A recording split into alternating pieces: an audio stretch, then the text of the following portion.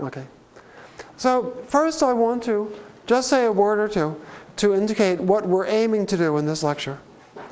So first of all, there's Chern-Simons theory in three dimensions.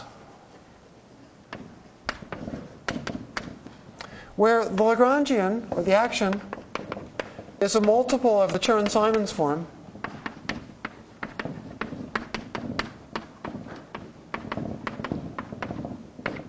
And then we have a path integral,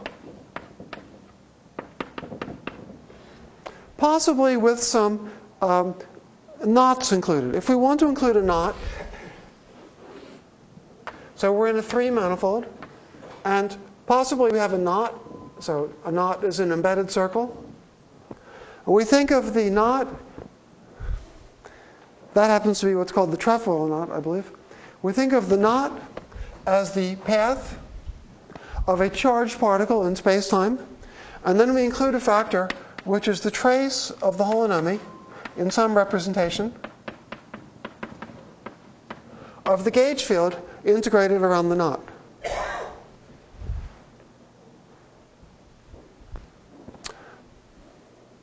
And this is formally a topological invariant, and in fact, there are some subtleties about framing, but essentially in the quantum theory, this is a topological invariant. And moreover, it's exactly computable because of its connections with two dimensional mathematical physics. If there's time at the end of the lecture, I'll say a few words about how it's computed. When you compute it, you find the following. And I'm going to state this now just for the case of knots in R3.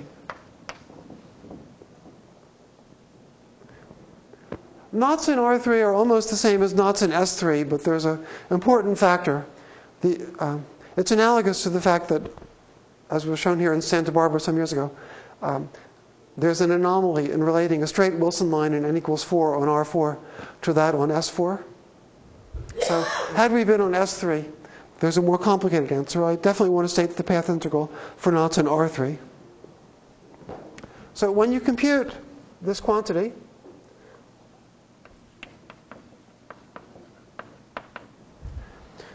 one finds that this path integral, which of course depends on the knot, is a Laurent polynomial in Q.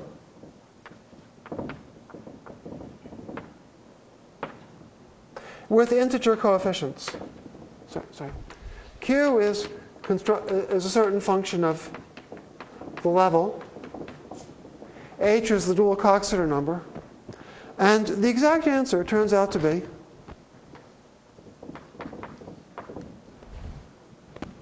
a Laurent polynomial in Q with integer coefficients. So this can be proved using any of the methods by which um, this integral is calculated, which all involve somehow its relations to two-dimensional mathematical physics, conformal field theory, integrable statistical mechanics, and so on. But none of those explanations make it terribly natural why the Jones polynomial and its cousins, J is for Jones here because for, if R is the two-dimensional representation of SU2, this is the Jones polynomial. By the way, it's called a polynomial because it's a Laurent polynomial in Q. That's what the, the second word in the name Jones polynomial means. None of the explanations based on two dimensional mathematical physics make it terribly natural why the Jones polynomial is a polynomial. You can prove it, but it's not extraordinarily natural. Now, uh, starting with I. Frenkel and then coming to fruition with his student Khovanov, uh, an explanation of this fact emerged. And the explanation is that there is a Hilbert space.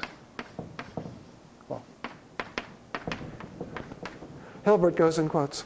There is a vector space. Physicists usually call the spaces of physical states Hilbert spaces, even when they're dealing with non unitary theories, which is z times z graded. That just means that there are two conserved quantities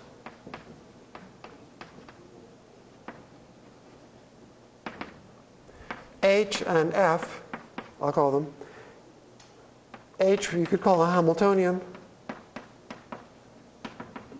F you could call a fermion number.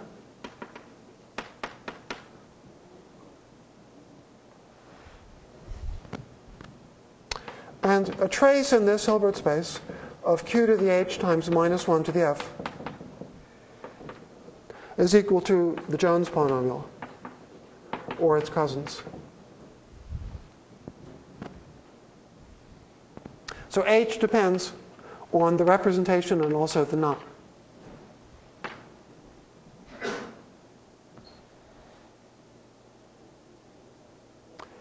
So, okay.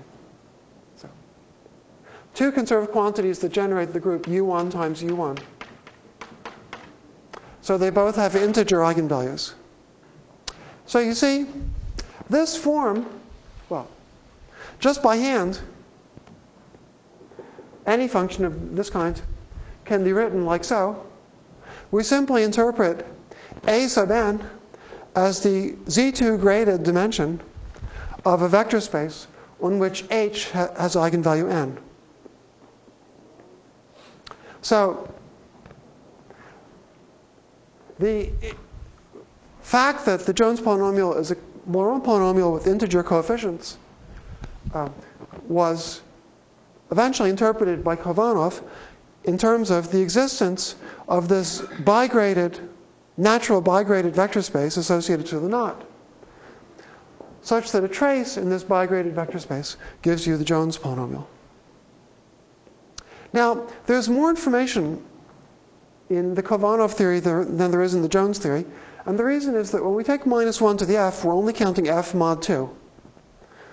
But we could have there's a richer set of invariants. We could have taken the trace of q to the h times y to the f, introducing a new variable, and that would be a more general knot invariant that in fact contains strictly more information than is contained in the Jones polynomial, even if you generalize the Jones polynomial to all groups and all representations. So Khovanov theory definitely has more information. Now, from a physical point of view, or perhaps even from a mathematical point of view, uh, what having a Hilbert space associated to the knot ought to mean is that there's a fourth dimension. So we expect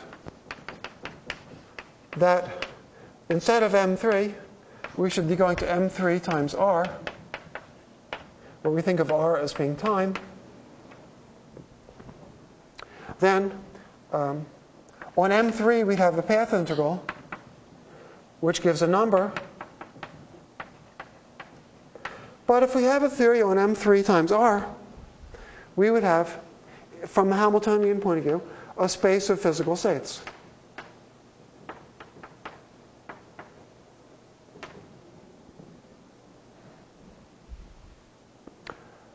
And um, So if there is a 3 in M, 3 times R, and instead of uh, a vector space, you wanted a number, see, it's hard to see how to introduce a fourth dimension, but it's easy to see how to get rid of one. If you don't want the fourth dimension, you take your four manifold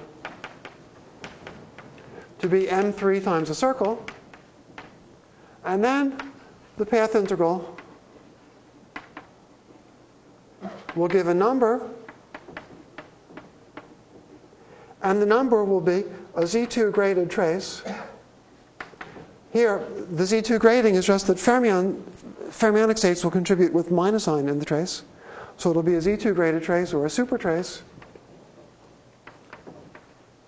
in H, which was the space of physical states.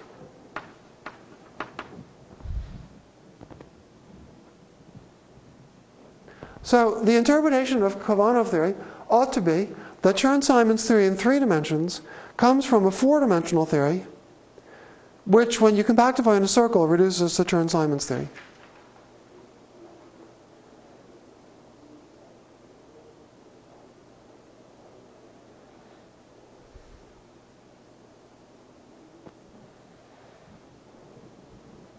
Uh, any questions about what I've said? Yes?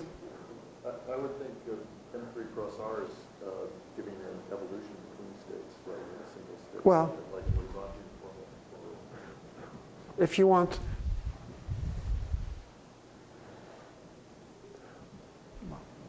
in, top, in a topological field theory, there won't be much evolution. So, uh, uh, sorry, we could make evolution. Sorry. Since there's a knot here, we could introduce evolution as follows. So maybe I should explain this because, okay. If the knot is just sitting in space for all times, first of all, what would it mean to include a knot? So if we are introducing a fourth dimension, but the knot is part of the Hilbert space, the, def- the definition of the Hilbert space depends on the presence of the knot. That the four-dimensional picture should be that the knot is present for all times.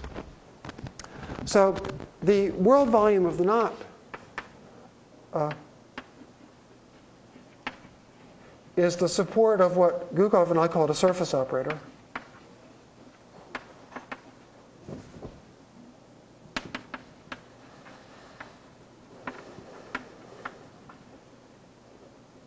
we did a lot of work on surface operators in gauge theory, where we weren't able to understand Khovanov homology, but we were able to apply them to the ramified case of geometric Langlands.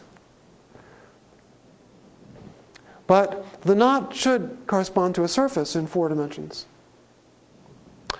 But Khovanov and other mathematicians did something that goes beyond defining a Hilbert space for a knot. Once you have this picture, you could imagine starting with a knot in the past and a different knot in the future, and then building a surface that interpolates from one knot to the other. So it's actually known in the context of Khovanov homology that you can do this. Um, given a two-dimensional surface, th- this is what's called a knot cobordism. So you have an initial knot C and a final knot C prime. And you get an operator that depends on the surface, which maybe we'll call D, and psi D maps the Hilbert space of C to the Hilbert space of C prime. And only depends on the topology of D, not on details of the geometry.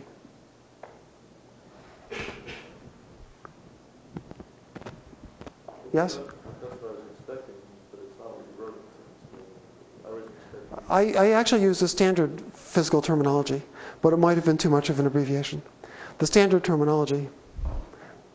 You could say that the Hilbert space is uh, a, a, uh, depends only on M3. But a standard way of realizing it is to take a time independent situation in which you quantize and you associate. Uh, if, there, if there was a Hamiltonian, we would associate the physical state to an initial value surface.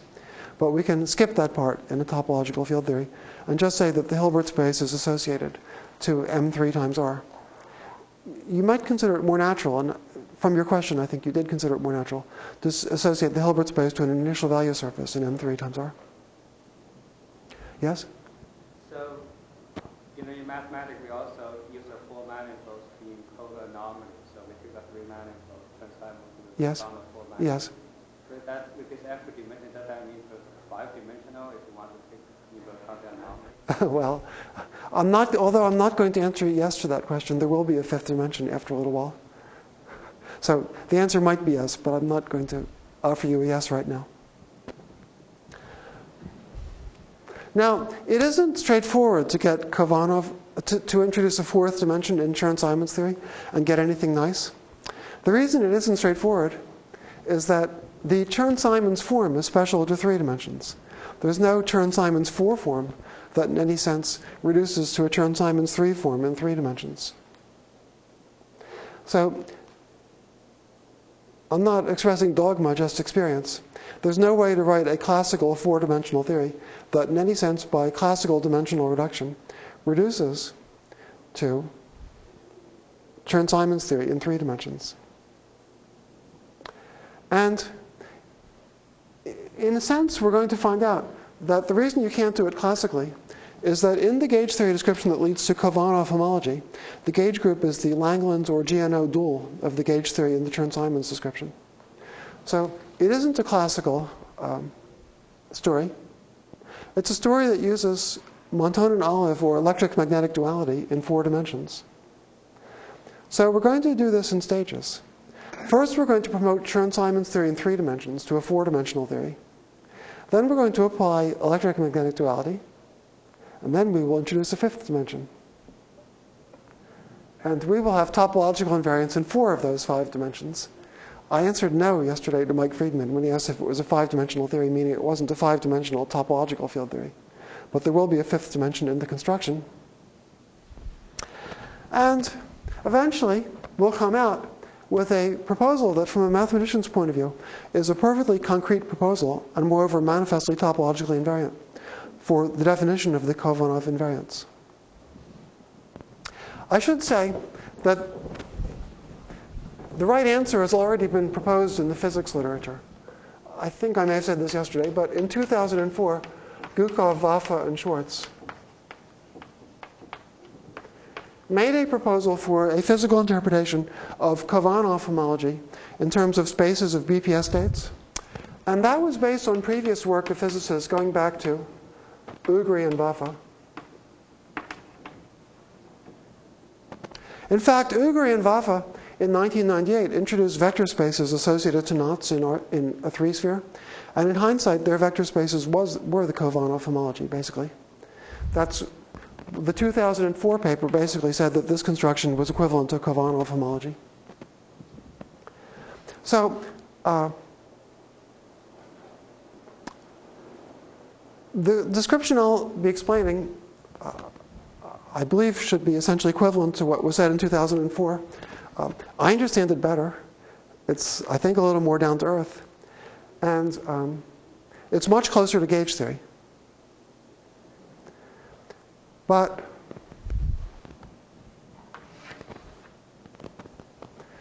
but I, I, like I said, I, it's meant to be a reinterpretation of what was said six years ago. Okay. Now, I found it by starting with Gukov, Vafa, and Schwarz and trying to uh, re express it more in the language of gauge theory. So I found that to be hard work, but I eventually got an answer. But in thinking about today's lecture, I decided it would be easier to go backwards. I haven't lectured about this before. Uh, okay. I gave a lecture a few months ago in Berkeley where I only said what the answer. I explained what will be the last, the final part of this lecture, but I didn't understand the intermediate steps. So this is the first time I've explained the intermediate steps in a lecture, so I don't know how it will go. But I've decided to do it backwards from the original logic starting with Chern-Simons theory and trying to see how to introduce time into it. I thought it would be more straightforward. So um, we start with we start with the path integral of Chern-Simons theory.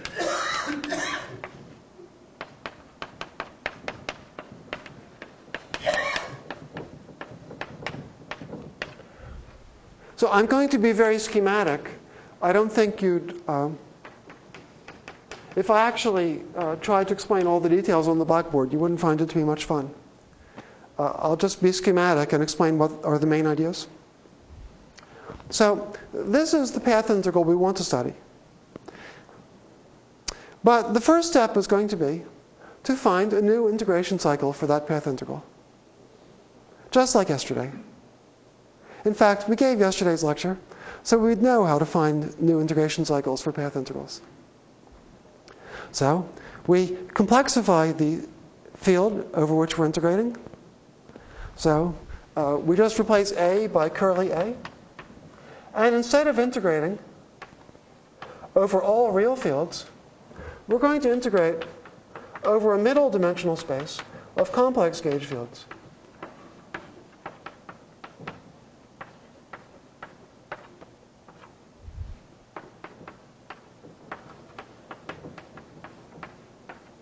So we've analytically continued the integration, the form which is being integrating, integrated, which is now a holomorphic differential form of top dimension in an infinite dimensional space. And now we need to find a real integration cycle for the path integral of Chern-Simons theory.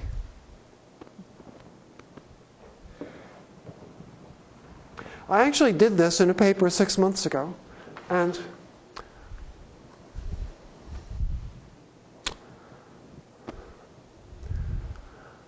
the motivation at the time was to account for a lot of results found by, um,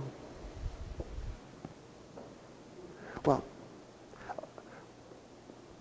from a physics point of view, largely by Gukov, but there are a lot of mathematicians who have worked on it as well.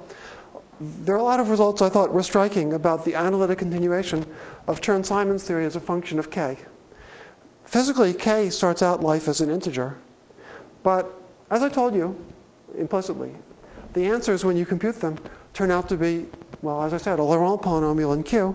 So in particular, they have an analytic continuation as a function of k. The analytic continuation has striking properties. And well, I was unhappy at not understanding those properties, and I wrote a paper where I introduced a new integration cycle in Chern-Simons theory to explain them. So uh, I'll, I'll go over that construction in a second. Our goal today is to use the same new integration cycle, not to account for peculiar properties of the Jones polynomial found after analytic continuation, but rather to lift it up eventually to Khovanov theory in an extra dimension. So, you know, the trouble with this integral is that um, the exponent has a real part which isn't bounded above, so it's in danger of diverging. So we do the same thing um, we did yesterday. We let h be the real part of this.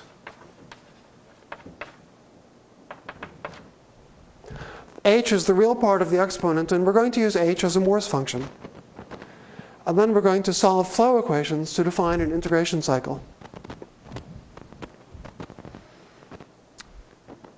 And um, we'll put a metric on the space of fields, which will be the integral over our three manifold of the trace of delta A wedge star delta A, star delta A bar. That's a Kähler metric on the space of fields we have to pick, it uses the star operator, so I've picked an ordinary Riemannian metric on M3 in order to put a Riemannian metric on the space of complex fields. But just as yesterday, if we change the metric on the three manifold a little bit, we'll just change the resulting integration cycle a little bit. So let me write this.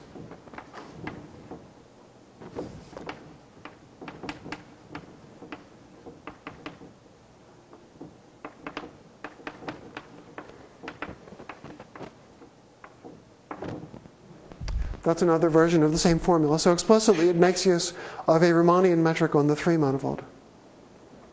So as yesterday, we pick an auxiliary Riemannian metric to define our integration cycle, but the integral over that integration cycle is invariant under wiggling the integration cycle a little bit by the infinite dimensional analog of Cauchy's theorem. And therefore, we'll get results independent of the metric on the three manifold. Now we write the flow equation which says that dA dt, d, okay, I'll call the variable, okay. maybe I'll,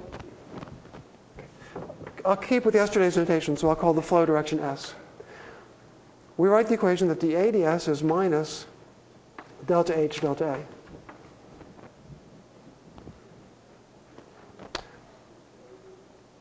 So, in principle, we'll do exactly what we did yesterday and define an integration cycle by integrating on a half line. So here's the three manifold we're really interested in. And then we go to M3 times the half line in S space from minus infinity to zero.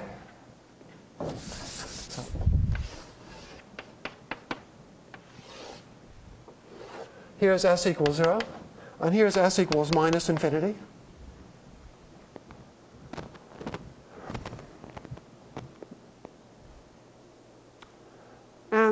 Um,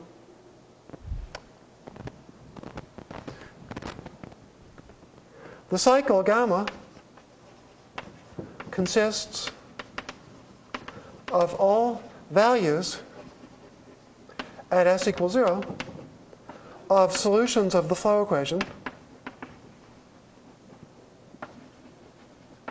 on r plus times m3.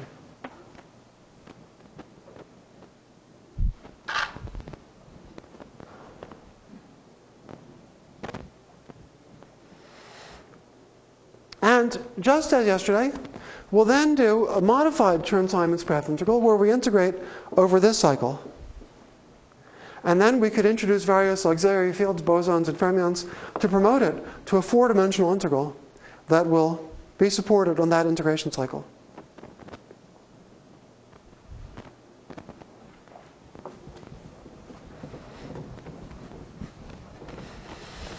Now, in general, okay, we need boundary conditions in the past, and the boundary conditions of the past are to start at a critical point. And in general, we'll get an integration cycle for each critical point, or if the critical points are not isolated, for each middle dimensional cycle in the space of critical points.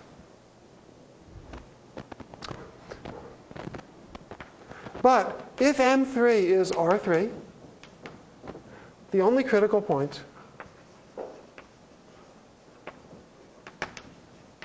is A equals 0 up to gauge transformation.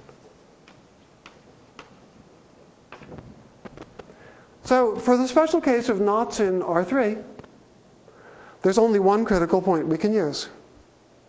And since there's only one critical point we can use, there's only one integration cycle we can use. And therefore, although my description sounds a little bit odd, our integral is equivalent to the standard integral for Chern-Simons theory for knots in R3.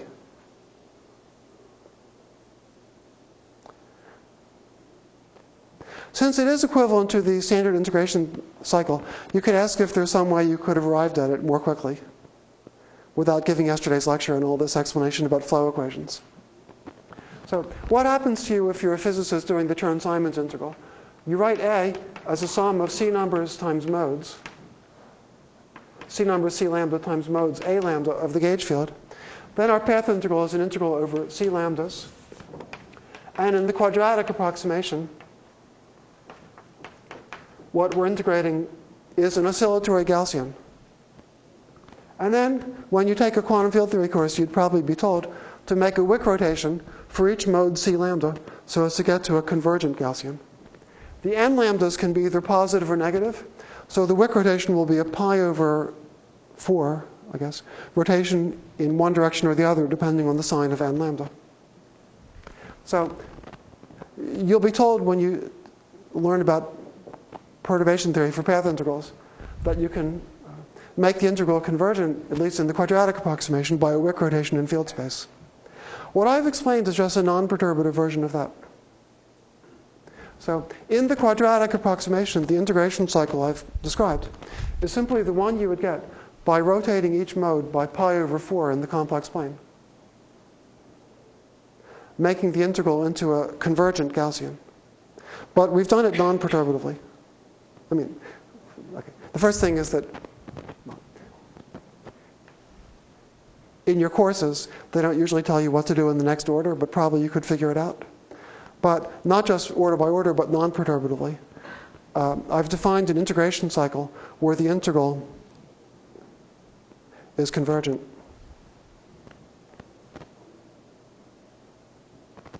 So if we had looked at some situation other than knots in R3, there would have been, according to the Poincare conjecture, as more recently proved, there would have been different critical points corresponding to non trivial classical solutions.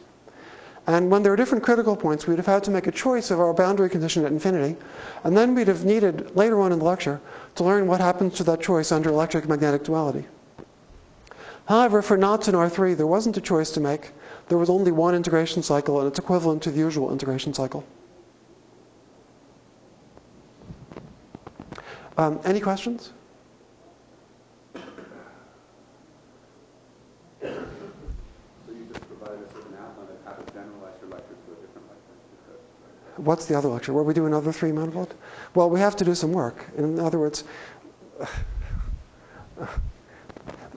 there is a paper by Mons Henningson who, in, in this language, took M3 to be a 3 torus and got some information about how the critical points transform under electric magnetic duality.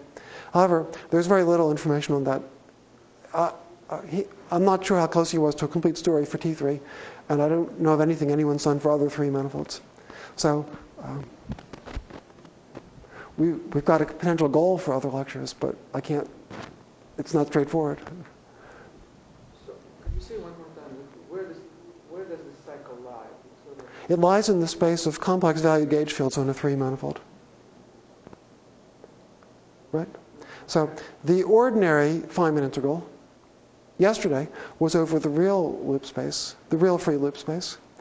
But then we replaced the real free loop space by the free loop space of the complexification, and then we took an integration cycle there consisting of I pseudo-holomorphic curves. So um, for Chern-Simons theory, we replace the real valued connection, in other words, the gauge group being a compact Lie group, by the Chern-Simons form for the corresponding complex form of the Lie group. And then, in the space of complex gauge fields, we have defined an integration cycle. So, um,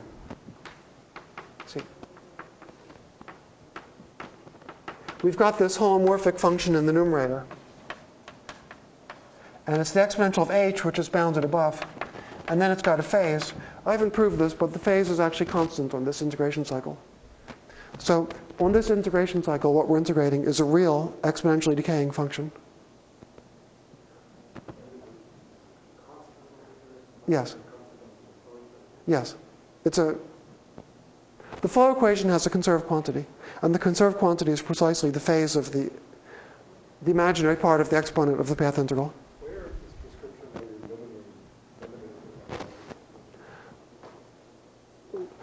We're not, in principle. Yes. Um, In my in a continuation of yesterday's lecture, we would have included some Hamiltonians. Then it's not topological. So, well, you could include any Hamiltonian, but you get something complicated. But there's a class, a special class of Hamiltonians, where miracles happen, and you get something nice.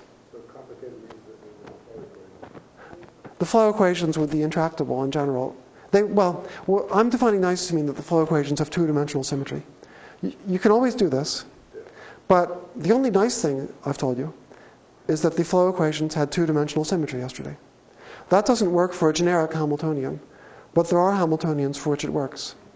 A typical example is that if the Hamiltonian, in our example yesterday of the two-sphere, if the Hamiltonian generates a rotation, if the Hamiltonian is one of the generators of angular momentum, then the flow equation has two-dimensional symmetry. So, But if I start out with that algebraic, it's not nice. yes, One, three-dimensional. yes, yes.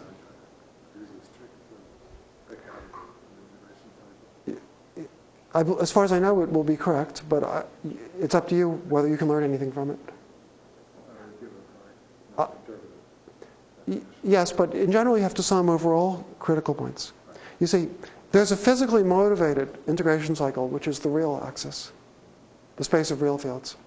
Then, to every critical point, you associate an integration cycle.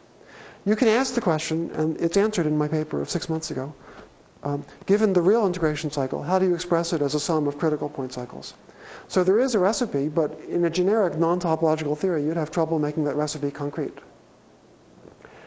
It happens that for Chern-Simons theory on R3, there's only one integration cycle, since there's only one critical point. So the integration cycle that comes from the critical point is the physical integration cycle on the nose. Yes? I just want to make sure I understand where the integration cycle lies. It lies in this infinite-dimensional space of um, complexified potentials. Yes. Connections, yes. It's, it in some sense Lagrangian and half-dimensional? It's half dimensional because, in general, you see, we took the real part of a holomorphic function as a Morse function. So the integration cycle is always half dimensional. Moreover, this is qualitatively what Floer does in Floer theory. Um, But if it's half-dimensional, it's infinite-dimensional. that's right. Okay, then is it, is there, a- is it Lagrangian? Um, yes, it's, the metric I picked is a Kähler metric. So there is a symplectic form, and it's Lagrangian with respect to that symplectic form. And the, what I've been calling the steepest descent flow can be interpreted, I've been interpreting it as the Morse theory flow with respect to h, but it's also the Hamiltonian flow with respect to phi, which is why phi is conserved. I mentioned before that phi is a constant on the integration cycle. That's because, in general, in this type of Kähler situation, the Morse theory flow with respect to the real part of the holomorphic function is the Hamiltonian flow with respect to the imaginary part. So the imaginary part is conserved along the flow. Can this cycle be described back in the manifold as connections having certain properties? Yes. On the surface as the Donaldson do? Well, sorry, Donaldson theory. Let's see. Donaldson theory is localized on solutions of the instanton equation. You could introduce a surface. It won't help though. It's better to discuss Donaldson theory without the surface. Donaldson theory is localized on solutions of the instanton equation. So the question you should ask me is, what is this localized on? And the answer is, it's localized on solutions of the flow equation. So Floer interpreted the flow, uh, well, Floer among others, but he used it in a context somewhat similar to this, interpreted the instanton equation as the flow equation for the real Chern-Simons function, whereas we are instead doing the flow equation for the real part of the complex Chern-Simons function. So we're doing something qualitatively similar to what Floer did, but with twice as many variables. The doubling of the variables is important, though. No one has ever interpreted the, infinite, the middle dimensional cycles that Floer studied as integration cycles for an integral. I don't know how to do that. Because I don't know a nice integral that's supposed to be defined on half a half-dimensional space of connections on a three manifold. But, you see, I do know an integral that's supposed to be defined on a half-dimensional space of complex connections on a three manifold. Because the real connections are half-dimensional in the space of complex connections. So if we, we're defining a middle dimensional cycle essentially the same way Floer did, but unlike the case that he and many mathematicians studied, it is appropriate to use the integration cycle we're going to get, the, the cycle we're going to get, as an integration cycle for a path integral. So, um, um, there's a tr- trick involved, which is actually explained in my paper, but I'm, I'm going to kind of suppress it today. But um,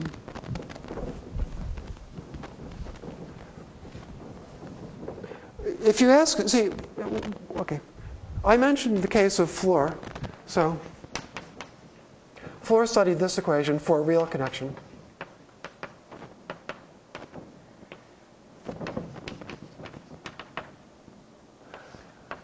With the real Chern-Simons form. So the equation was that dA ds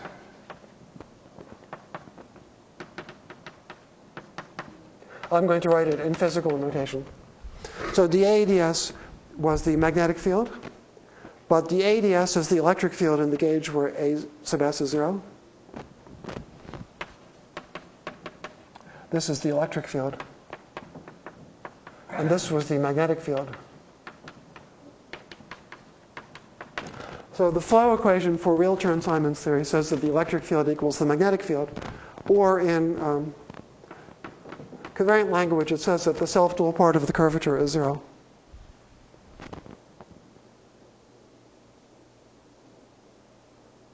So the, in the case that Floer did, the flow equation for real Chern-Simons has a what might be a miraculous looking four-dimensional symmetry. So the same thing happens here. In this case, the flow equation has a miraculous looking four-dimensional symmetry which I explained in the previous paper but didn't really use. Today we're going to be using it. So this equation turns into the following equation.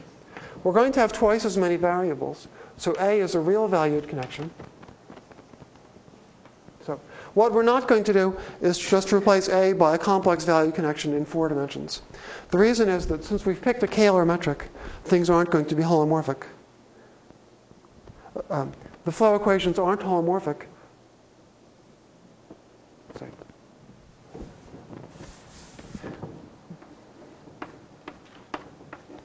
This is a better, more careful way to write the flow equations. There's a Kähler metric involved, so dA ds is the variation of h with respect to a bar. And it, um, so the flow equations aren't holomorphic, but still the values, variables are doubled.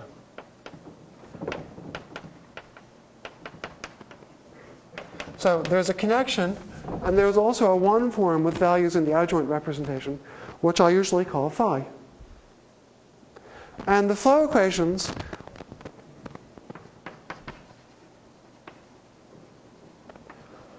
have four-dimensional symmetry. They're a system of elliptic differential equations.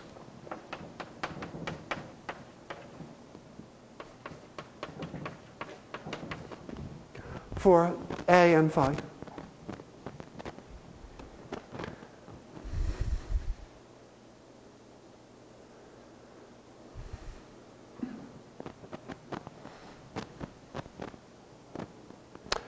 So not only do they have four-dimensional symmetry, but uh, these are equations I'd run into before.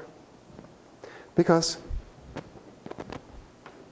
so Kapustin and I, when we studied geometric Langlands,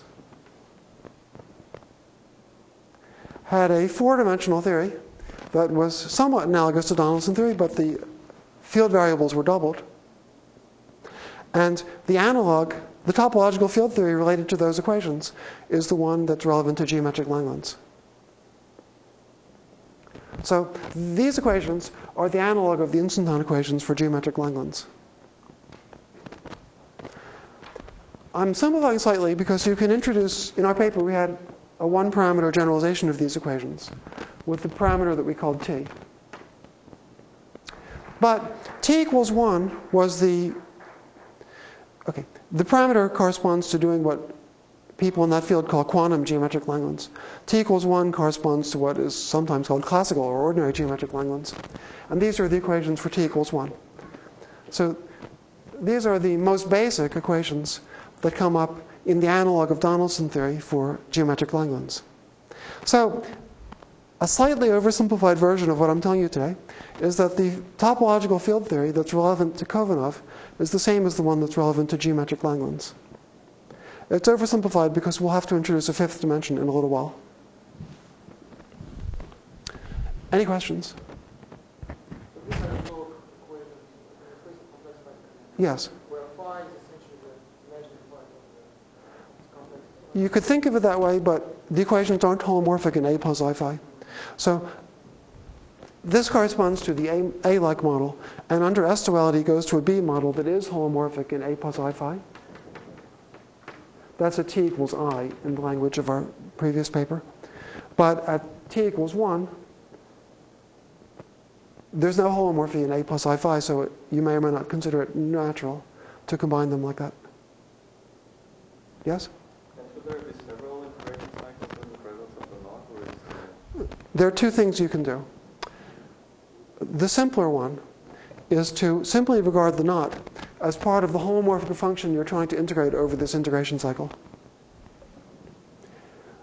So I'm presenting this lecture that way.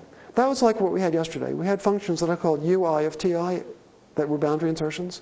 We computed the trace of a product of operators.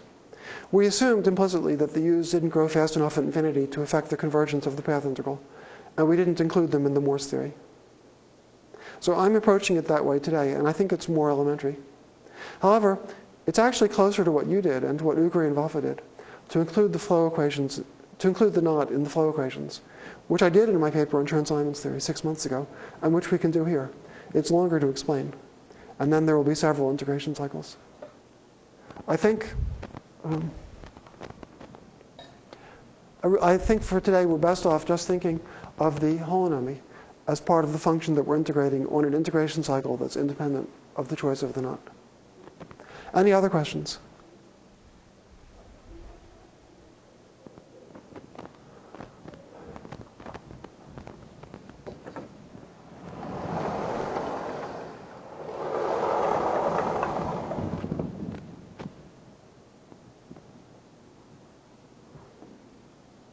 So we've introduced a fourth. Okay, sorry.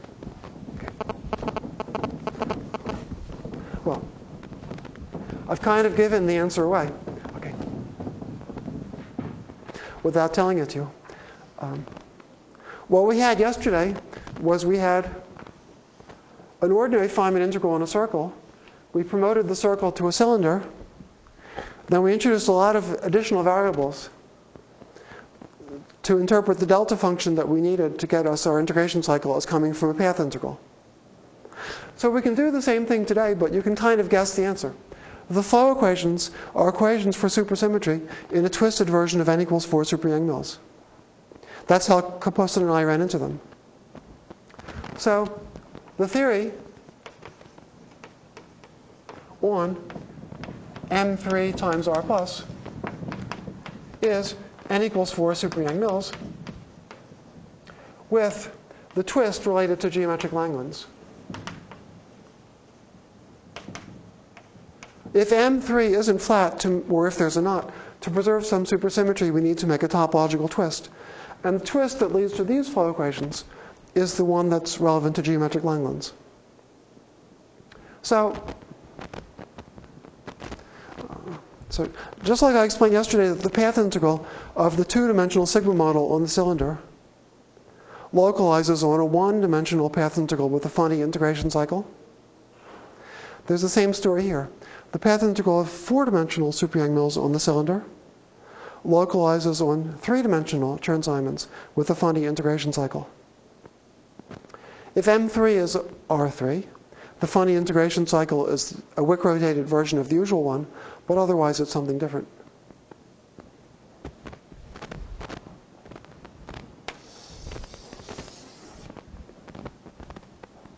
So we've promoted Chern-Simons theory, the Chern-Simons path integral, to a path integral in four dimensions on a half space, while maintaining four-dimensional symmetry. But it's not immediately relevant for getting Khovanov because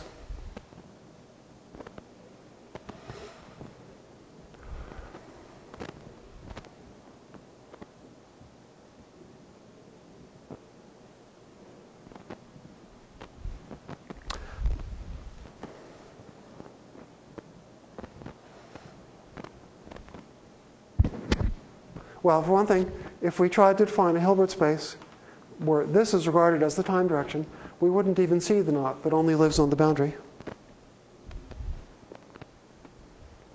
So, in fact, we'd get something trivial. So, to get Khovanov theory, we're going to have to do something else with this. Now, to motivate what we can do, it's convenient to take to consider the case that the gauge group is un for some n.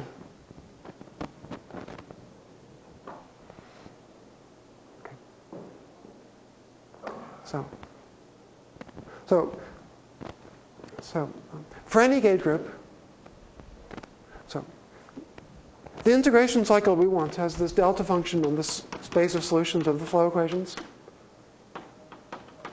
And just like yesterday, by introducing a lot more bosonic and fermionic fields, we can express the three-dimensional path integral on that integration cycle as a, an integration, a path integral in R3 times R plus, with a theory that in this case turns out to be n equals 4 Super-Yang-Mills theory. Yesterday we started with a purely bosonic quantum mechanics problem and got a sigma model of a hyperkähler target space. So it had a lot of supersymmetry.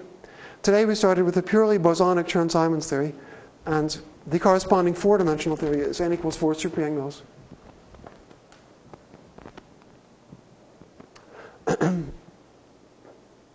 but we want to um, use that as a starting point for getting Khovanov theory. And to motivate what we're going to do, we'll consider the special case that G is UN. And I will first tell you something that doesn't work, after which I will tell you something that does work.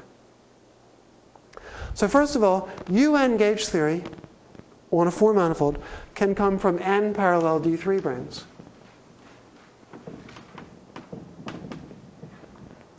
But here, the D3s end on an NS5.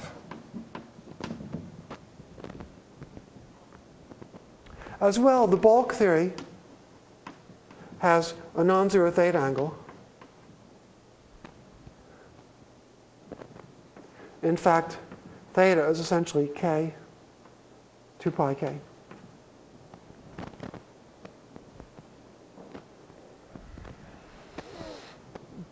So the boundary condition for D3s ending on NS5s is simple if theta is 0. But if theta isn't 0, the boundary conditions for D3s ending on NS5s is tricky. Actually, Davide Gaiotto and I described it a couple years ago. And it's a kind of four-dimensional analog of the coisotropic brane of Kapustin and Orlov that came up yesterday in two dimensions. So the physical situation we're discussing is D3s that end on an NS5. The path integral of the UN gauge theory on the D3s is the one that gives us UN Chern-Simons theory on the boundary.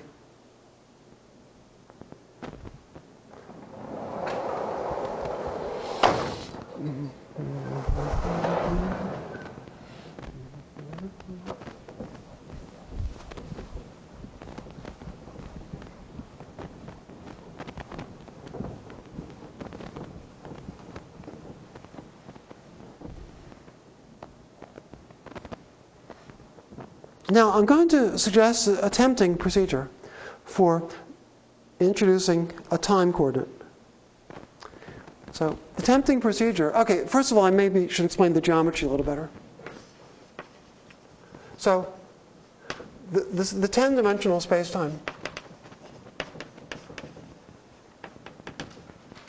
is actually the cotangent bundle of M3 times R4.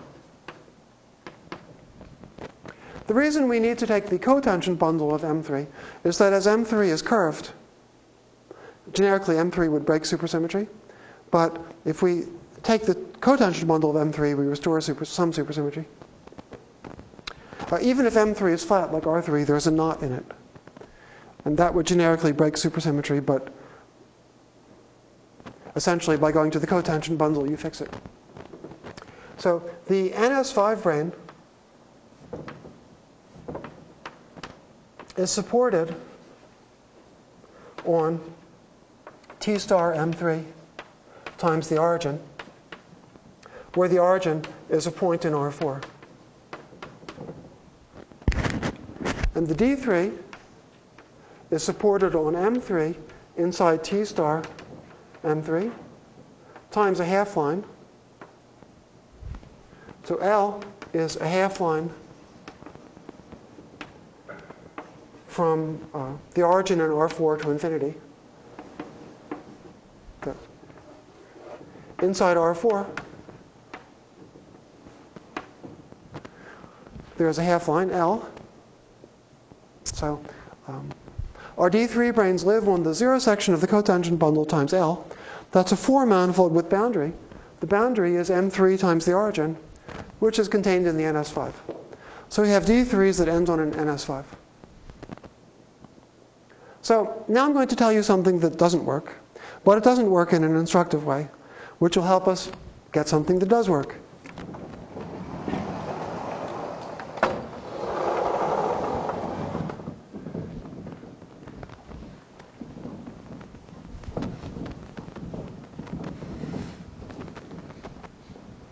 When we find the right thing to do, we can do it for any g. But it just happens that when g is un, we can use these brane constructions as a clue to what we ought to do. So we're going to replace R4 by R3 times a circle. So now we're on T star M3 times R3 times a circle. And nothing changes except we take L to be in R3 times a fixed point P in S1. So there is a circle, but L runs in the perpendicular direction inside R3 times a circle. And this doesn't modify our calculation of the physics on the branes at all. For example, the circle could have a radius of a light year, and the gauge theory that lives on the branes doesn't know about it. So we've neither gained nor lost anything. Now we're going to do something else that will neither gain nor lose us anything. We'll do T duality on the circle. Maybe I should say that we're in type 2b superstring theory because that's the theory that has D3 branes. Now we do T duality on the circle and the D3 now will go to a D4. The NS5 will still be an NS5. Oh, sorry. We'll discuss what happens to the NS5 in a second. That statement wasn't true. So now we will still be uh, asymptotically, we'll still be on T star M3 times R3 times S1. It's actually only true asymptotically, as I'll tell you in a second. But if we ignore the NS5 brane, let's for the moment ignore the NS5 brane. So asymptotically means way off, far away at, at, on L from the NS5 brane. Then the NS5 brane is unimportant. T duality maps a circle to a circle. And now the D3 brane becomes a D4 that lives on M3 times L times a circle.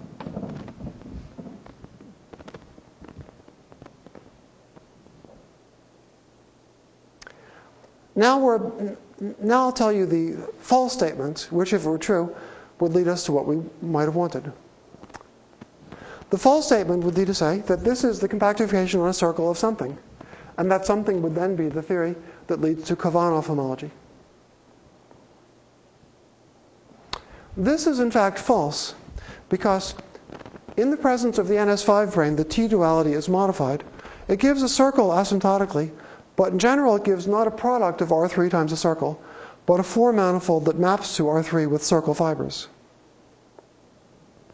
And with the NS5 brane, so asymptotically we had this, but the exact story is T star M3 times a hyperkähler four manifold known as the Taub-Nut manifold. I'll just call it Tn. Tn is a hyperkähler manifold. It maps to R3 with generic fiber being a circle. But there's a bad fiber at the origin where the circle collapses to a point.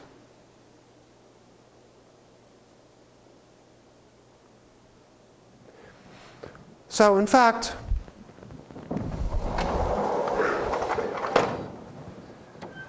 when I said that the D4, um, uh, okay.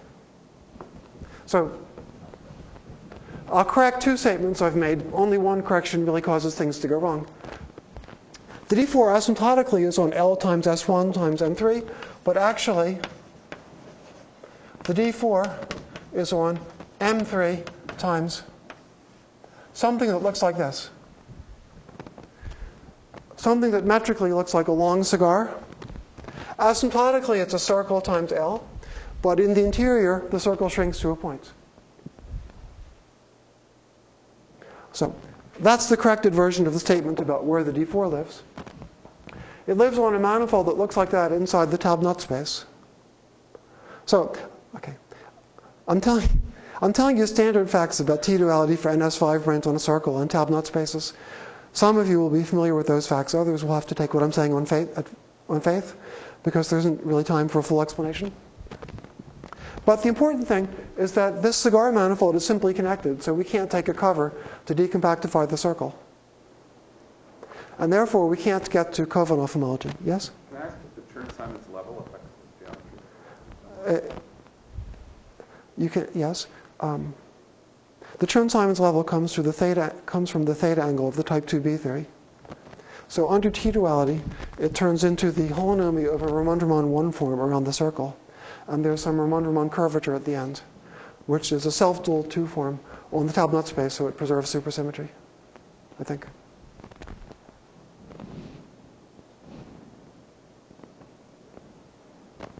Uh, any other questions? Yes? Keep track of the numbers. It seems that your original D3 was four dimensional. Yes, I'm afraid it's, uh, it, often causes confusion, but in the conventional notation, time isn't counted. So the D3 brane fills three space and one time dimension. So, and D4 is is that entire space, not a subset of it? No, the D4 also will fill five dimensions. Yes. And that's right. Except that the L cross S1 is only an asymptotic description. It's actually M3 times a cigar. And it's because of the fact that the geometry is really a cigar that this attempt to introduce a time coordinate doesn't work. But um, that happened to us because of the funny way the NS5 brane turns into geometry under T duality. So we're going to now perform S duality before T duality. We'll take the S dual.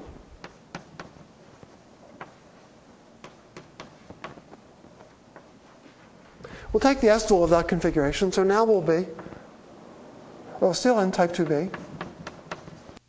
The only real change is that the NS5 becomes a D5.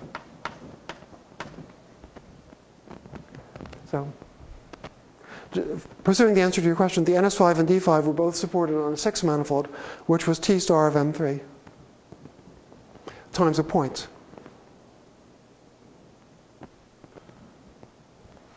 So now the picture is we've got D3s ending on, on a D5.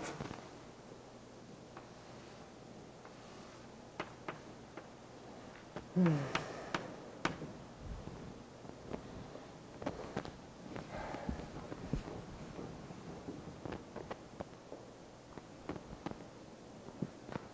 And now we're going to do T-duality again. And what we've gained is that D5s don't do anything funny. They don't mix with geometry under T-duality. They just turn into D6s. So the T-dual will be a D4, D6 system.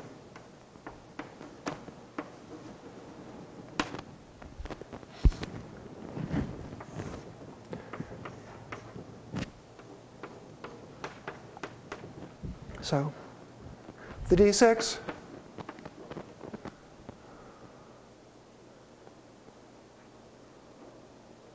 is supported on T star M3 times the origin in R3 times a circle. And D4 is supported on M3 times L times the circle.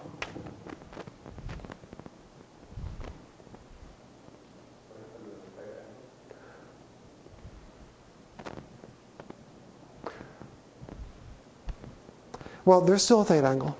There's also a trick that has to do with the parameter that Kapustin and I had. Uh, I, I think it's better to not give a full answer right now. So we have to worry about what the theta angle does, and then we get a nice answer. Um, so, um, okay. so now there's no monkey business. This really is a product of a circle times something else, and therefore, we, therefore, the path integral is simply a trace of a Hilbert space that we would have gotten, in my terminology, if the circle is replaced by R. But Mike Freedman wanted us correctly to say that the Hilbert space is associated with an initial value surface that is a point in R. Or if you want a point in the circle.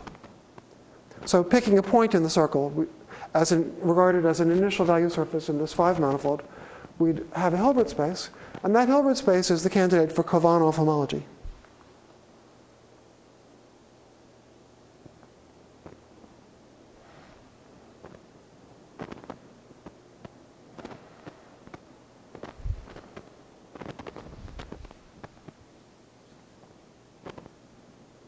Now, uh,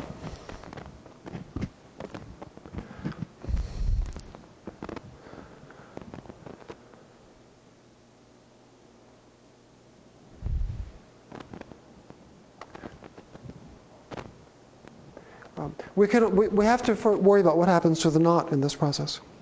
So the knot in this process was the boundary of an elementary string that ended on M3, ended on the D3 brane. The S duality turned it into a D1 brane that ends on the M3 brane. And then the T duality turned it into a D2 brane. So, as well as the D4s and the D6s, there's actually a D2. The D2 is supported on our knot C times time, or I if we don't decompactify it, it's just S1, times another half line that ends at the origin. So the D4 is ending on the D6 to give us our gauge theory, but if a knot is present, it means that a D2 is ending on the D4. So D2s ending on D4 branes, in general, give us 't Hooft operators in the gauge theory.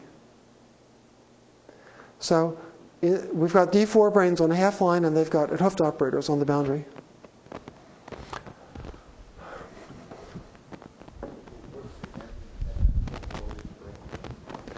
It, it, it's just uh, T star of M3 times R3 times a circle.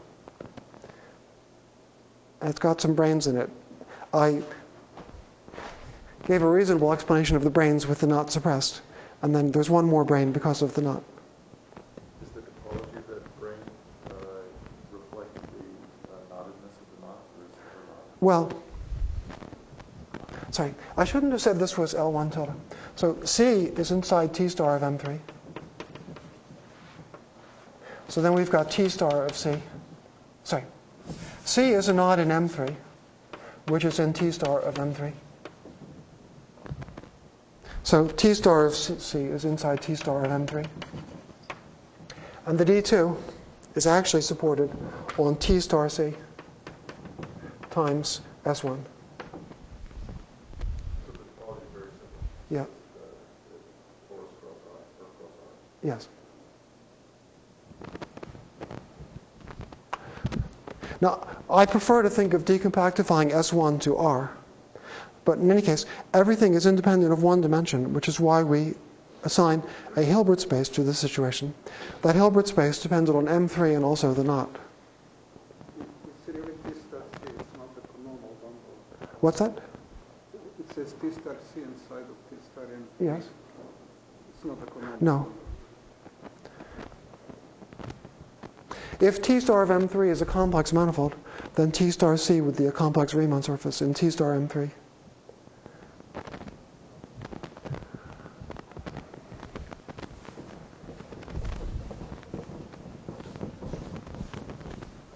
So, so what? So we've got. So we have UN gauge theory on the D4s, which we think of as being on M3 times a half line times time. And quantizing in this situation gives a Hilbert space associated to M3 times R plus. We also have D2, um, which are supported. Well, the, D2, the important thing about the D2s is where they end. The D2s end on C inside M3 times the endpoint S equals 0 in R plus times time. So the whole thing is time independent. And if you draw a picture at time zero, which is more, a little bit more manageable, the picture at time zero is that we have a three manifold with a knot in it. And the three manifold is the boundary of a four manifold that's just M3 times R plus. We're supposed to do gauge theory on the R plus in the presence of an 't operator. The 't Hooft operator lives in codimension 3, namely, it lives on a knot in the boundary. The knot is a 1 manifold, which is a codimension 3 in the 4 manifold, M3 times R plus. And now we need to construct the physical Hilbert space associated to this situation. And the recipe we get is one that actually is, is very similar to Floer theory in the case of Donaldson theory or in the case of symplectic manifolds. So it's, the recipe is one that one would expect could be made completely rigorous mathematically. Although the explanation of why it's equivalent to Khovanov theory would not be completely rigorous.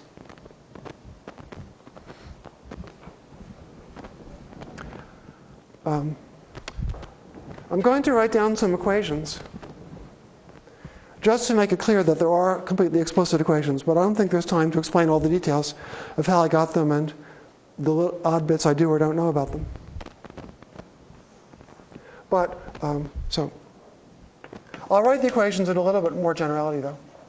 In general, we could be on m4 times r plus. So, from the hoc way, in my lecture, m4 has been m3 times a circle, which is how we got it first by t-duality, or m3 times r if we decompactify. But in fact, you can replace m3 times a circle by a general four manifold while preserving one supersymmetry. So as I said in my answer to Mike Freedman yesterday, we, the theory actually has four-dimensional topological invariance. It's formulated on a four manifold m4 times r plus, and it's um, only depends on the smooth structure of M4. Although, if I had to guess, okay, let me not guess. I'm skeptical of whether it depends on the smooth structure in an interesting way. So, before we discuss Hilbert spaces, the recipe would be, first of all, to associate numerical invariants to M4 times R plus. M4 times R plus could have a two manifold. That would be D would be the product of a two manifold times zero.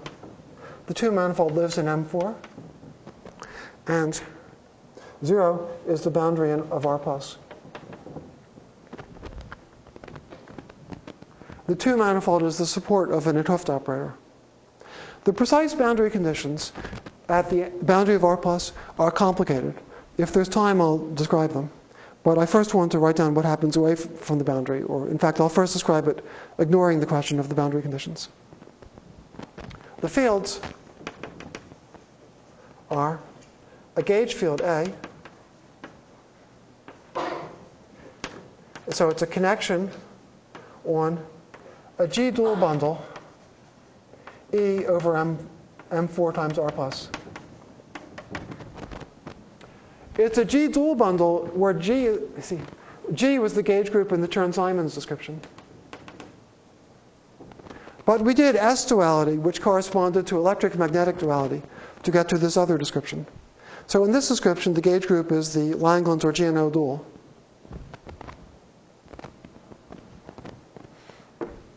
And then there's another field, B, which is a section over M4 times R plus of omega 2 plus of M4. Well, the pullback, omega 2, omega 2 is the bundle of self dual, sorry, omega 2 is the bundle of two forms in M4. Omega 2 plus is the bundle of self dual two forms. We pull back this bundle of self dual two forms to the product M4 times R plus.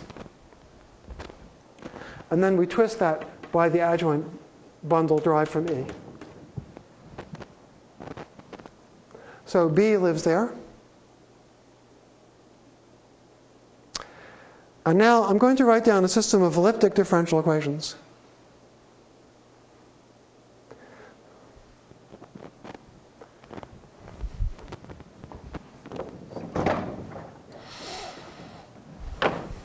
These equations are the analog of the instanton equations of Donaldson.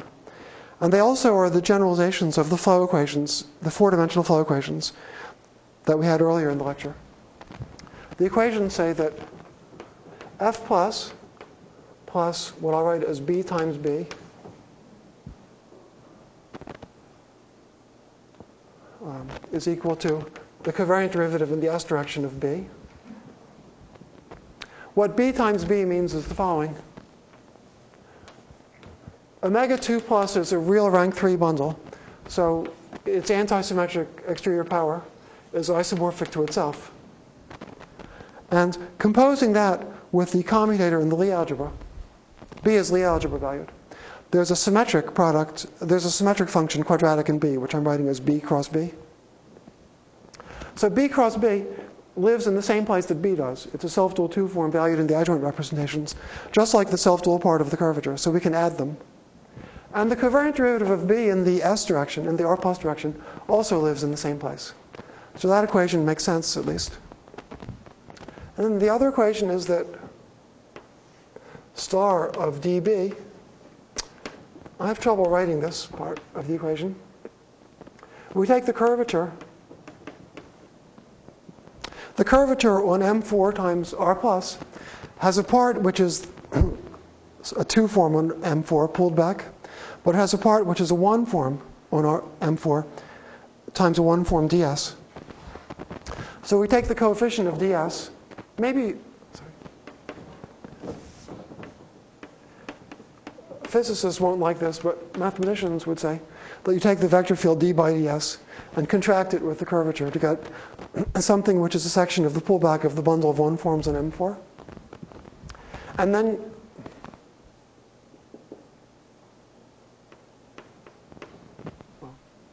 if you interpret star as being a star along M4.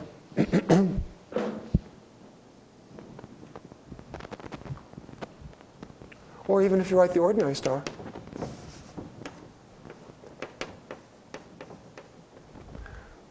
We could write the equation like that. Anyway, there is a system of elliptic differential equations.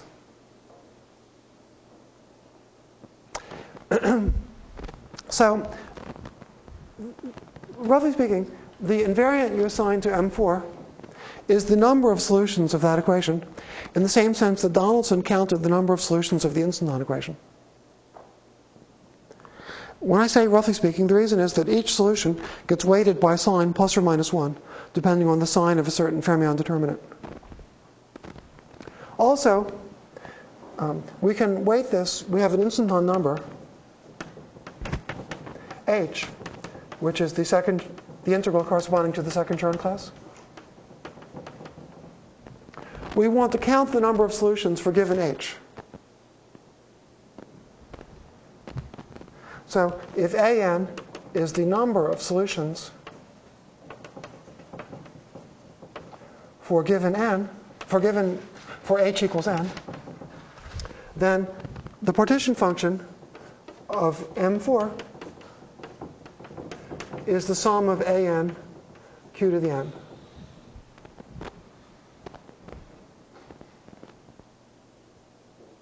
Where q is just a formal variable we introduce to write a generating series. If M4 is M3 times a circle, this is supposed to be the Jones polynomial. If you ask where the knot entered, it entered in the boundary condition that I didn't describe. We had elliptic differential equations with some subtle but sensible boundary conditions that depend on the knot. We count the solutions with those boundary conditions. And then when M4 is M3 times a circle, that's supposed to give us the Jones polynomial. Can I ask a question? Yes. Um, So in this picture, you have M3 cross R, R, R plus, Yes. and then you, in general, could be M4 times R plus. Yes, I've done that here. Jump. What? Jump from M3 to M4. M, this picture we suppressed time. So I drew the picture at constant time, so it was really R times M3 times R plus. And then I generalized R times M3 to a general M4. I didn't go through the exercise of explaining why it was still supersymmetric. It would have had to do with G2 holonomy, actually. Uh, seven the fact that the bundle omega 2 plus of M4 has an almost G2 structure. So, so you're not finding a vector space, just finding its dimension? Well, I will find a vector space in a second. Uh, I've explained the analog of Donaldson theory, but to get vector spaces, we have to do the analog of Floer theory. So, what is Floer theory? Well, Floer, um, the classical approximation is he introduced chain groups, but the classical approximation is okay. Let me say it physically. You want to find the supersymmetric ground states of the system. In the classical approximation, they come from time independent solutions of the instanton equation, which are flat connections on a three manifold. So mathematically, he introduced chain groups with a basis corresponding to the flat connection. Then you need quantum corrections due to instantons. Those give tunneling amplitudes between them. So you, that enabled him to define a differential in the space of those chain groups, whose homology was the space of exact quantum ground states. So we have to imitate that, where the first step, so the chain groups in mathematical language, or the classical approximation to the ground states, come from the time independent solutions. So we specialize the story I've just told you to R3 times time.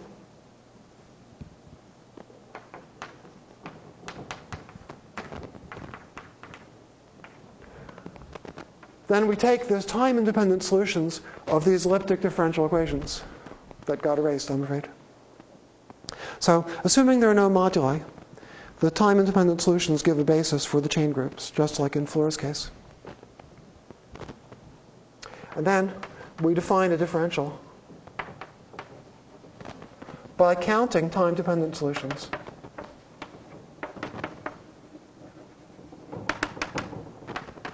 Time dependent solutions.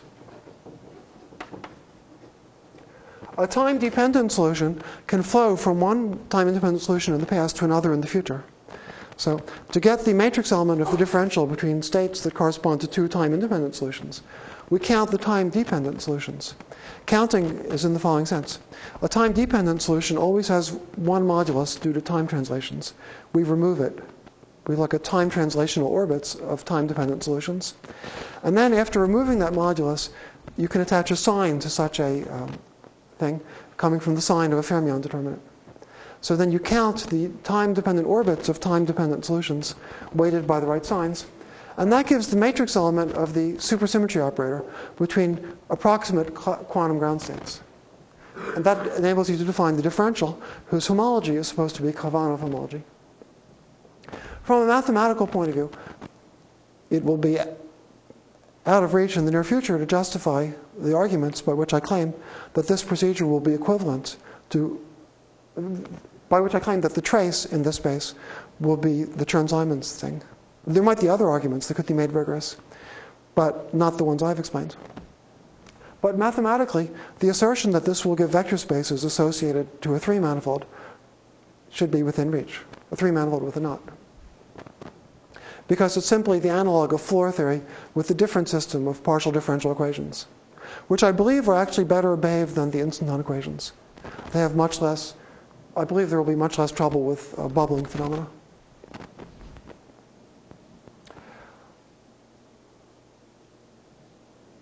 I think probably this is a reasonable place to stop.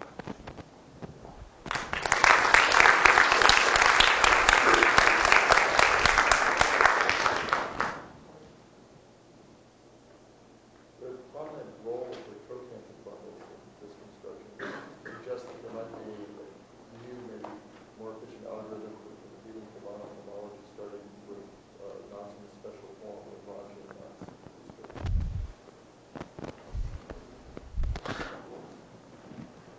Possibly. I must say that I find, well, Khovanov homology was defined by Khovanov, and many other definitions have been found, variants have been found by him and others later. Um, not with this kind of machinery that's manifestly topologically invariant, but by giving rules for gluing things together. So all definitions of Khovanov theory have come with an effective method of calculation. So the methods might look cumbersome, but they're effective. Given a knot, you can actually calculate the Khovanov groups. Here, this is manifestly invariant, but it doesn't come with an effective method to calculate. Um, since all uh, approaches to co- where you can calculate in Khovanov theory have to do with stretching things and factoring on a two manifold, I've tried to imitate that here. Something nice happens to the equations. It's very reminiscent of what's been done Oh my gosh. I'm suffering from a slight mental block. Oh, sorry, by are Seidel and Smith, and others. Uh, uh, I get equations such as they've studied, but with different boundary conditions. So I haven't quite been successful in deducing from this a known method of calculation. But uh, for the most part, my goal is to give some reasonable explanation of why this gives one of the known methods of calculation. Mathematically, if you could do that, I feel it's imaginable that you could, but certainly I haven't been able to see a good scenario.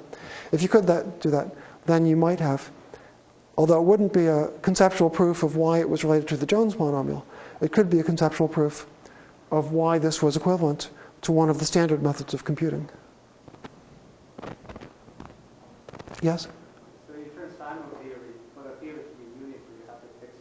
Do you Yes. to do it here too, or? Well, we're not going to get anything that um, wasn't true before. Um,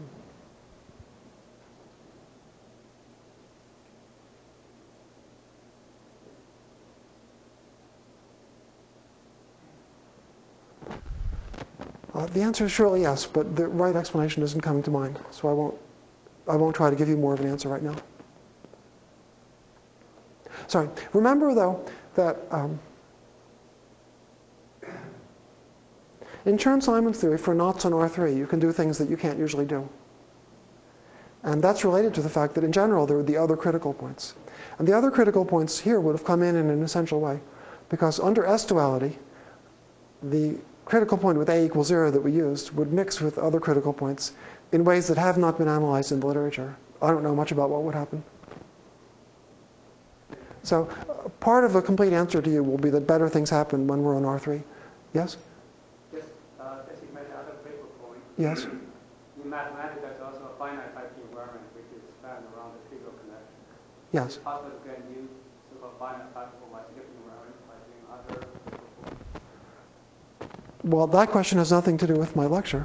Yeah, But um, the, the answer is yes in Chern-Simons theory in general. So I, I'm a little surprised if it's not known in the literature. But in any case, technically, finite type might not be the right terminology. But there are perturbative Chern-Simons invariants expanding around any critical point.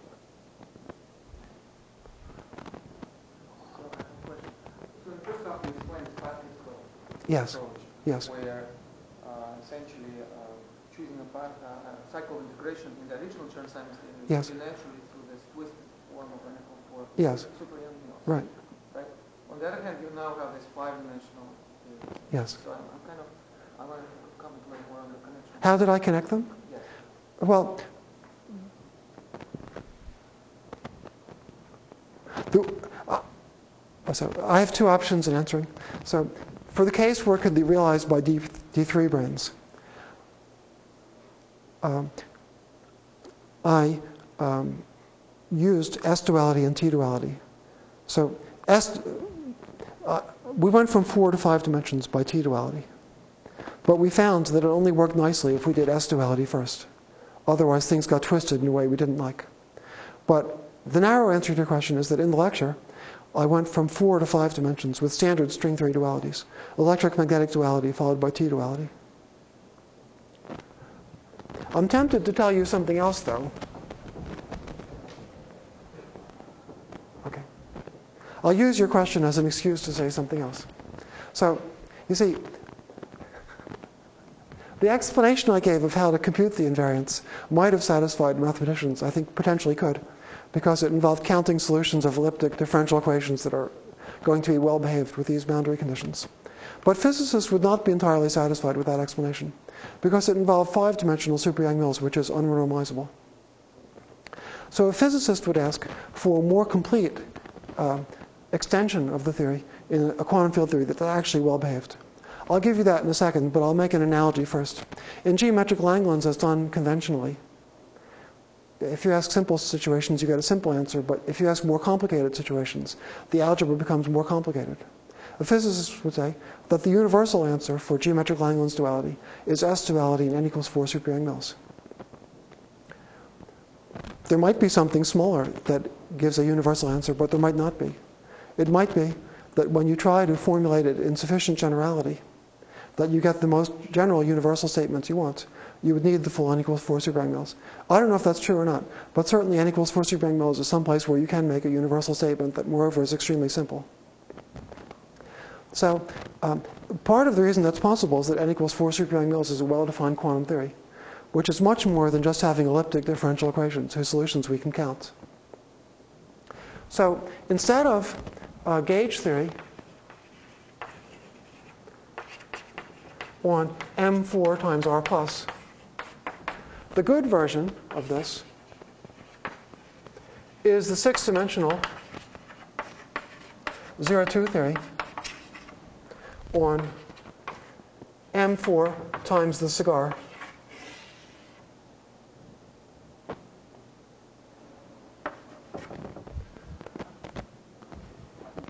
So there's a six dimensional supersymmetric theory that actually is well defined in the ultraviolet. And we formulate it on the sixth manifold, which is M4 times W. So you can do all kinds of things with this theory, but something that's been very popular in the recent literature, among other things, it leads to the AGT construction, which you've had lectures about here, and we'll have more. Gaiotto considered the six dimensional theory on a product of a four manifold times a two manifold. He made a topological, he made a twist. Well, as he expressed it, he made a twist that preserved supersymmetry on M4. But you could further twist it to get a theory that's topological on M4 and holomorphic on C. So that twist, which is very natural in this, okay, the instanton counting on R4, to really justify it, one approach involves making the twist I just described. So we're making that twist here, but W is just this stupid cigar. We're not, nothing is varying with W. If we modified the problem so W had moduli, we'd get a holomorphic dependence on those moduli. But for Khovanov theory, we use the fact that W has a, a circle symmetry inside. So the real official version of this is the 0-2 theory on M4 times the cigar. Now, um, to try to make this brief, suppose we're on M3 times a circle times the cigar.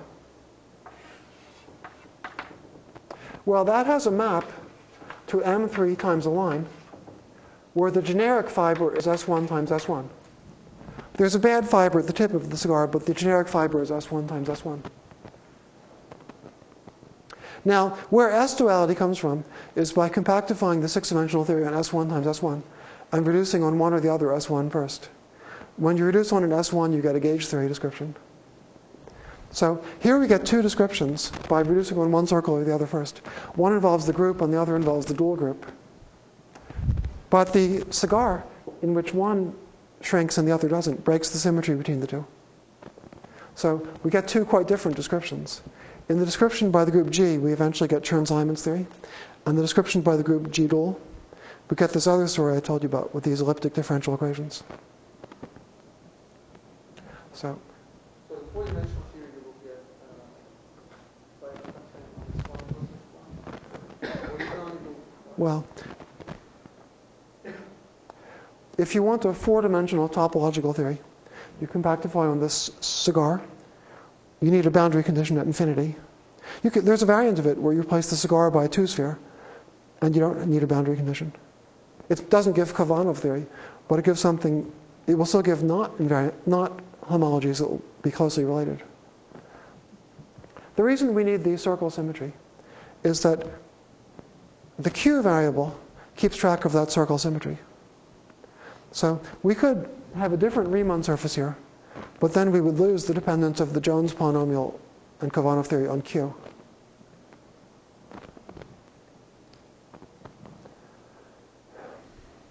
Uh, unfortunately, it's kind of would be necessary to give another lecture to explain what I'm here calling the official version of this.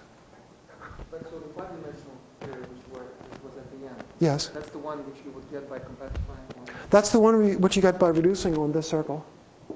So m4 times w maps to m4 times a half line by reducing on this circle. So for general m4, that's the only way to get to gauge theory. And we get this story that counts elliptic differential equations. If, however, m4 is m4, m3 times a circle, then there's a second circle in the game. And if we reduce on this circle, we get a description that eventually leads to Chern-Simons theory on m3. Now, it leads to Chern-Simons theory on m3 by a long route that involves that story about integration cycles and flow equations. But where is the T duality which you're saying? That's supposed to Uh, uh, uh, I'd better not give a quick answer, but in this description, you don't use T duality in this version. Uh, this version is It's the end. this version is an M theory version. So, yeah, okay. You could go. You could close up a loop. Okay. The, the T duality gave us type 2a, and then type 2a on a 10 manifold is related to M theory on an 11 manifold. The way it works here is that the half line is replaced by the cigar. So in this description, we're in M theory and we don't have T duality. So T duality is what we get if we first reduced on a circle to go back to string theory. Yes? Does your approach associate a finite dimensional vector space to a closed four-dimensional No. number?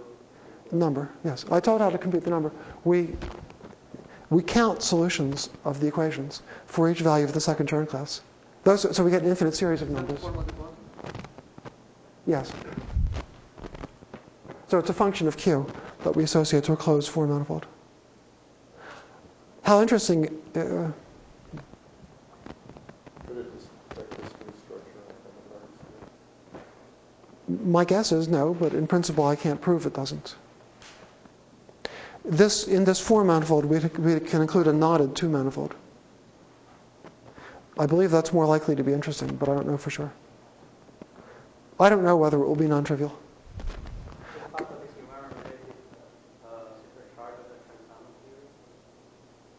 Well, Q is related to the level K of the Chern-Simons theory. By central charge, did you mean the level K?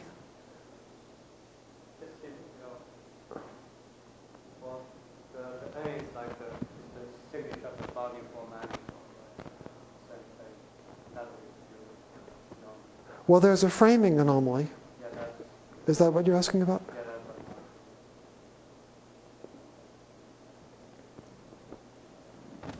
I haven't really understood properly what the framing anomaly means here. I'm sorry to say. I believe, you see, when you calculate this integral of the second Chern class, it's integrated over a non-compact manifold. And it also has a gravitational correction.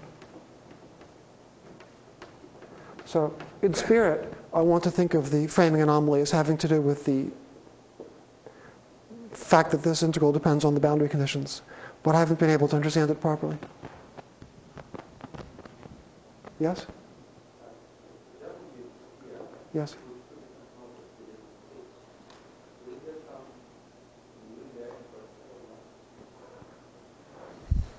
I don't believe there'll be essentially no. Uh, I, I haven't proved that, but I believe what the reason is I believe it will be qualitatively similar to to Pestun's calculation on the four sphere. So it, it was built out of something at the North Pole and something at the South Pole, and it didn't contain really new information, although they were combined together in an interesting way. So just to make sure I understood correctly, so if you want to get Khovanov homology Yes. G, Yes. you have to take this five-dimensional theory of the Yes. No, uh, sorry. Uh, well, let's discuss what we mean by Khovanov homology for the group G. Uh, Chern-Simons theory for the group G, we know what that means. Then by Khovanov homology for the group G, we mean Khovanov homology where the supertrace will give Chern-Simons theory of G. If that's what we mean by Khovanov homology of G, then to do Khovanov homology of G, we have to solve the PDEs I described for the Langlands dual group.